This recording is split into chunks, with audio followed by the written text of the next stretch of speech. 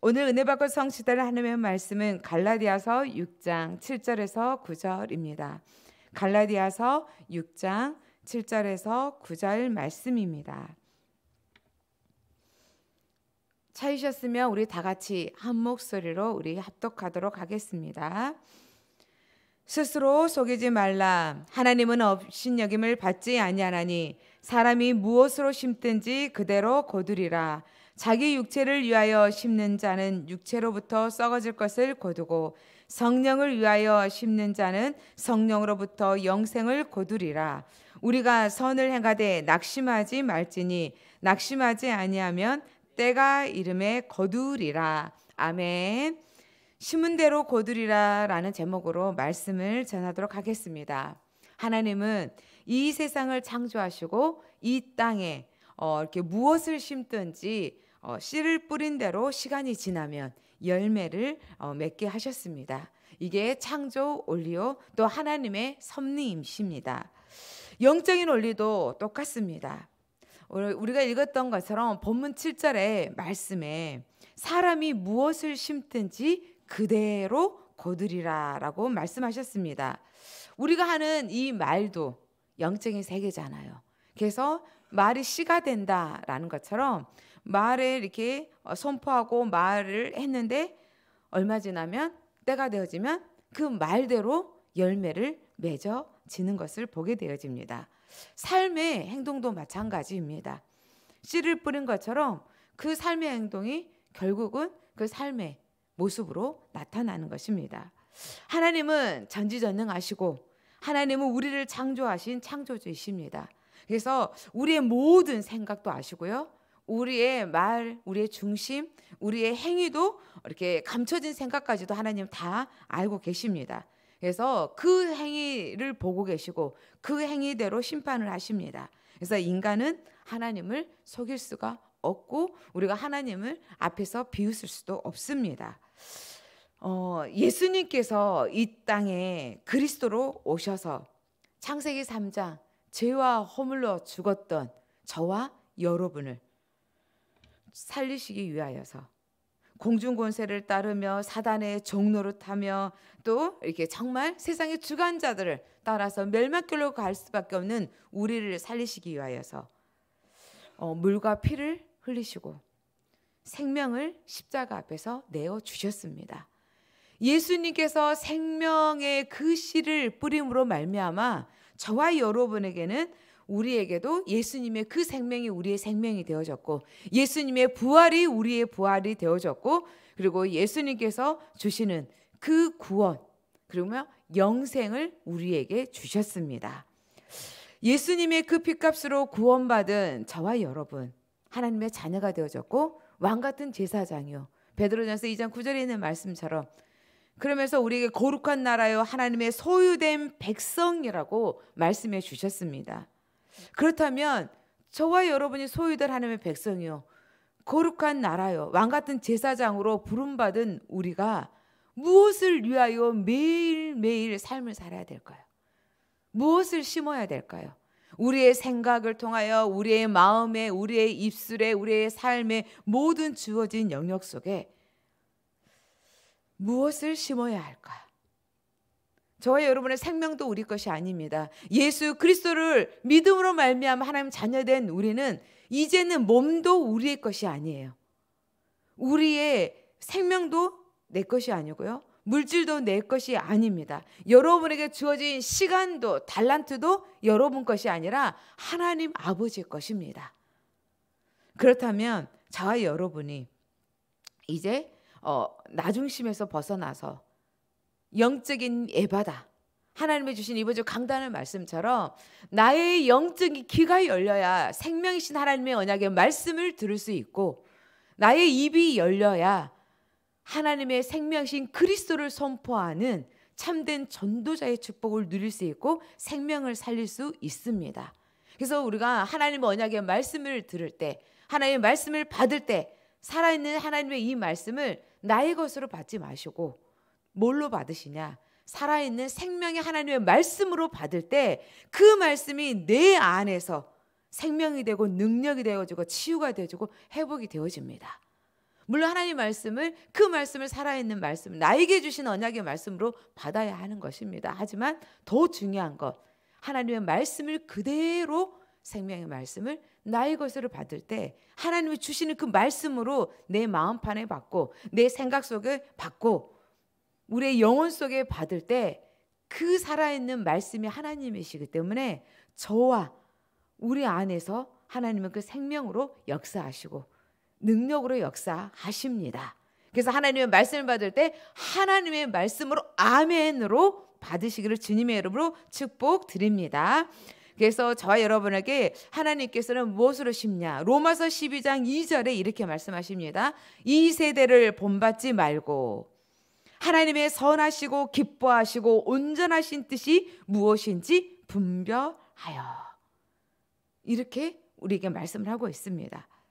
그래서 하나님 앞에서 하나님의 기뻐하시는 생명을 살리고 또 복음을 심고 어, 영혼 구원을 위하여서 심는 그러한 우리 예언의 믿음의 성도님들이 되시기를 주님의 이름으로 축복드립니다. 어, 오늘 본문의 말씀을 보니까 두 종류의 사람이 있습니다. 첫 번째 두 종류의 사람입니다. 본문 8절에 보면 자기 육체를 위하여 심는 자는 육체로부터 썩어질 것을 거두고 성령을 위하여 심는 자는 성령으로부터 영생을 거두리라 라고 말을 하고 있습니다. 사실 갈라디아 이 교회는 바울이 복음을 선포해서 이렇게 교회가 세워졌는데 시간이 지남으로 인하여서 점점 점점 그 구원에 우리가 그 구원을 믿음으로 말미암아 구원을 받았는데 갈수록 어떤 게 되었냐? 율법을 통하여서 행위를 통하여서 구원을 받는다라는 이렇게 어, 주장하는 유대인의 어, 거짓된 잘못된 교사들로 인하여서 거기에서 이제 흔들리고 있을 때 바울이 사실은 이렇게 이제 서신서를 보내서 흔들리지 아니하고 그 하나님께서 우리에게 주시는 그 구원 그 복음은 하나님의 은혜로 말미암아 되어진 것이다라고 이제 이걸 강조하고 나아가면서 오늘 이제 어 6장에 있는 이 본문 이 본문의 말씀은 말씀을 주는 자들과 모든 좋은 것을 같이 해라라고 우리가 읽지 않았지만 그렇게 어 6절에 이, 이, 말씀을 하고 있습니다. 한마디로 말씀은 하나님이 우리에게 주는 생명이고 우리에게 주시는 바로 말씀이 그리스도이기 때문에 이 말씀을 통하여서 가르치는 자들과 마음을 같이 하고 가지고 있는 모든 것들을 통하여서 함께 하면서 어, 이렇게 나누며 이렇게 온니스를 이루는 귀한 축복을 말씀을 해 주셨습니다. 그러면서 오늘 8절에 있는 말씀처럼 두 가지의 이렇게 이렇게 대조 이렇게 대비해 놓고 있는데 자기의 육체를 위하여 심는 자 무엇을 위하여 심느냐? 한 사람은 육체를 위하여 심는 자. 또 한 사람은 성령을 위하여 심는 자.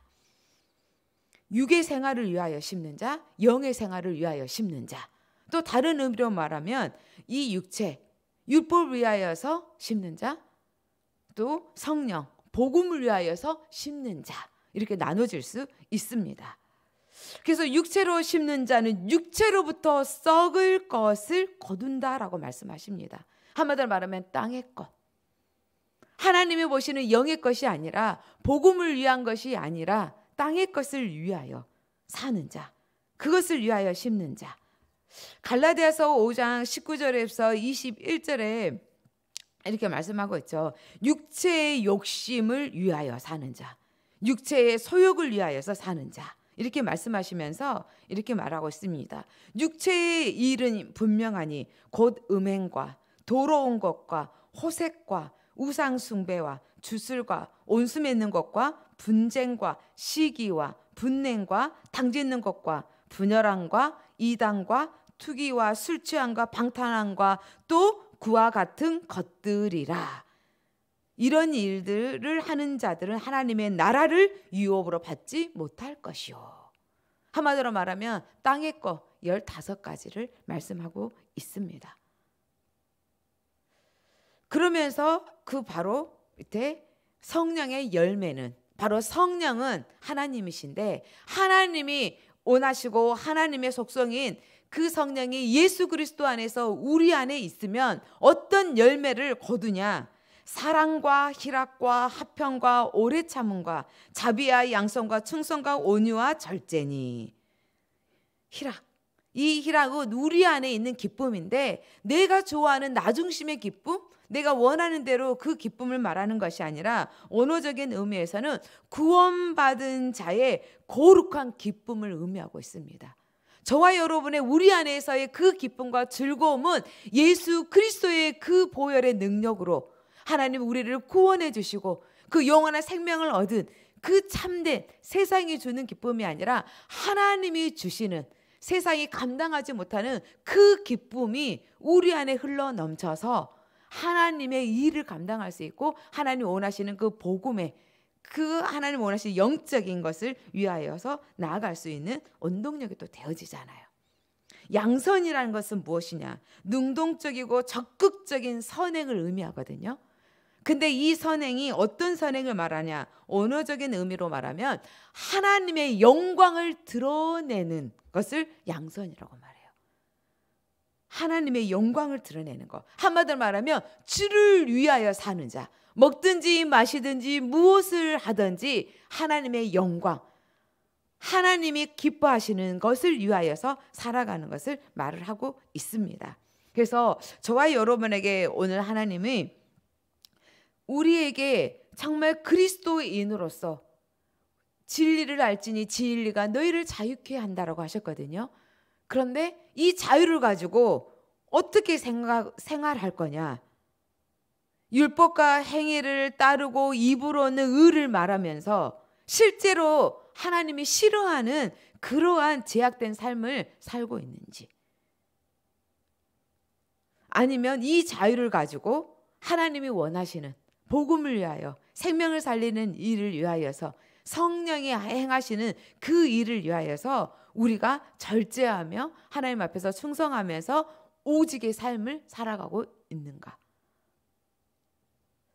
그래서 오늘 하나님께서는 우리에게 말씀하십니다. 똑같이 교회에 와서 정말 하나님을 섬기고 예배를 드리면서 어떤 사람은 영적인 일을 위하여서 하나님이 기뻐하시는 일을 위하여서 심는 자가 있고 반대로 육신의 것을 위하여 육적인 것을 위하여서 심는 자가 있다는 것입니다. 그때는 몰라요. 지금은 몰라요. 우리 앞에서는 사람들 앞에서는 몰라요. 속일 수 있어요. 근데 하나님은 우리의 중심과 마음을 깨뜨고 있고 그 행위와 그 모든 것들을 알고 있기 때문에 하나님이 나중에 결과물을 보게 되어지는 것입니다. 그래서 오늘 하나님께서 우리에게 말씀하고 계십니다. 다시 한번 저와 여러분이 정말 남들이 다 잠을 자고 있을 때 이 자리에 나와서 하나님 앞에 이 새벽에 나와서 여러분이 어, 이렇게 예배를 드리고 하나님 앞에 기도를 한다. 이 자체도 저와 여러분은 지금 하나님 앞에 영적인 것을 신고 있습니다. 맞죠? 그래서 하나님이 기도의 씨를 뿌리는 자에게 하나님의 그 기도하는 대로 하나님께서는 응답하여 주시고 믿음을 심는 자에게는 더 큰 믿음을 허락하여 주시고 감사함으로 나와서 예배를 드릴 때 더 큰 감사의 예배의 축복을 우리 삶의 모든 영역 속에서 하나님은 역사하시고 인도해 주실 것을 믿습니다. 그래서 오늘 하나님께서 주시는 이렇게 말씀에 따라서 하나님이 주시는 영적인 것을 위하여 하나님의 견고한 망대로 사가시는 우리 예언의 성도님 되시기를 주님의 이름으로 축복드립니다. 두 번째는 때가 되면 이루리라입니다. 때가 되면 거두리라입니다. 본문 구절을 보면 우리가 선을 행하되 낙심하지 말지니 포기하지 아니하면 때가 이름에 거두리라. 낙심하지 말라고 말씀하시고요. 또 어, 포기하지 아니하면이라고 말씀하고 있습니다. 씨를 뿌리면 금방 나오지 않습니다. 기다리고 또 인내해야 할 것을 말씀하고 있습니다. 주님을 위하여 하나님이 원하시는 복음을 위하여 하나님이 가장 선하시고 기뻐하시는 일이 뭐냐?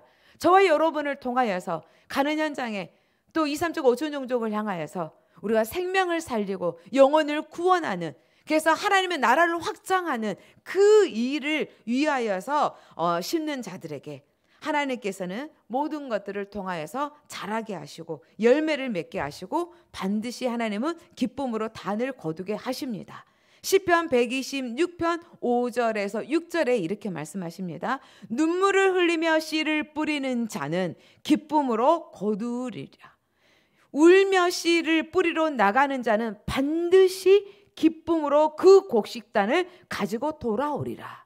이 말씀을 통하여서 하나님의 강한 의지가 보이지 않습니까? 눈물을 흘리며 씨를 뿌린다. 우리가 영적인 일을 위하여서 눈물이 정말 힘겹게 그러면서 쉽지 않다는 거죠. 눈물과 기쁨, 대조를 이루잖아요.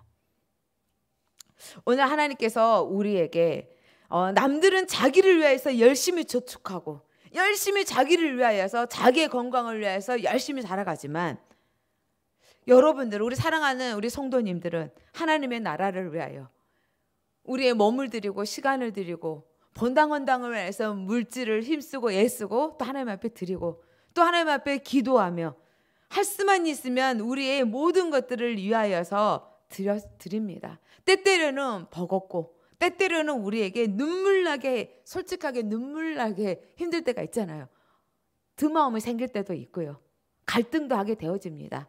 그럼에도 불구하고 우리가 눈물을 머금고 때때로는 기쁨으로도 드리지만 또 눈물을 머금고도 우리가 헌신의 자리에 성김의 자리에 전도의 자리에 성교의 자리에 또 나아가잖아요. 그 모든 것들 하나님께서는 다 아신다는 거예요. 그래서 육을 위해 뿌리고 심었는지 영적인 것을 위해서 심었는지 그래서 하나님께서 우리에게 울며 씨를 뿌리러 나갈 때 하나님께서 반드시라고 말씀하세요. 반드시 하나님이 정하시는 때 하나님이 예비하신 정확한 시간표에 하나님께서는 열매를 30배, 60배, 100배 열매를 맺게 해 주십니다. 그래서 저와 여러분의 그 눈물, 그 눈물을 흘리며 씨를 뿌리는 것, 오늘 하나님의 나라를 확장하는 생명을 살리는 일에 많은 영혼들을 위하여 우리 후대를 위하여서 2, 3, 7, 5층 정정을 내가 막 나에게 맡겨진 그 지역과 현장을 위하여 그 영혼을 위하여 권력을 위하여 하나님 앞에 눈물과 기도로 성김과 헌신의 모든 것들을 뿌릴 때 하나님은 결단코 상을 잃지 않게 하십니다. 그래서 어린아이에게 한 그 물 한 그릇도 상을 잃지 않게 하신 하나님께서 우리에게 이 썩어질 이 육체를 가지고 이 땅을 살아가면서 영원한 것을 위하여 하나님의 것을 위하여 심을 때 하나님은 이 땅에서도 그 축복의 열매를 맺게 하시고 하나님 나라에서도 영원한 축복을 맺게 해 주심을 믿고 우리 사랑하는 우리 어, 여러분들이 어, 하나님께서 가장 기뻐하시는 그냥 축복의 증인으로 날마다 매일 매시 매분 저마다 하나님 앞에 드려지는 인정받는 그래서 많은 열매를 거둬들이는 귀한 축복이 되시기를 주님의 이름으로 축복드립니다. 말씀을 맺겠습니다. 오늘 하나님께서는 우리의 모든 삶이 성령이 함께 하시는 우리 안에 성령이 함께 하십니다. 그래서 하나님은 깨닫게 하시고 생각나게 하시고 역사하셔서 하나님의 뜻을 감찰하도록 그 성령께서 인도하시며 우리를 하나님의 원하시는 그 길로 인도해 주고 가고 계십니다. 그래서 우리 안에 이 성령의 열매를 맺음으로 말미암아 하나님께서 날마다 주시는 그 그의 나라와 그의 의를 구하고 하나님이 원하시는 전도의 현장 속에 선교의 현장 속에 나를 드리고 나의 후대를 드리며 나의 모든 것들을 드림으로 인하여서 하나님이 받으시고 반드시 심은 대로 열매를 거두겠다는 이 언약의 이 말씀대로 여러분의 삶의 언약 속에서 역사하실 것을 믿고 흔들리지 아니하고 포기하지 아니하고 믿음의 말씀의 언약을 따라서 전진하여서 생명의 회복의 절대의 망대 영적인 에바다라고 외치며 또 선포하고 생명을 살리고 현장을 살리고 나와 우리 후대를 살리는 믿음의 하나님의 기쁨의 어, 이렇게 절대 제자들이 되시기를 주님의 이름으로 축복드립니다.